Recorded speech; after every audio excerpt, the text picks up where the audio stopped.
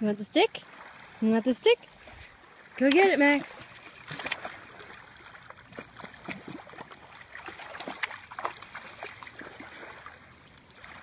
Good boy.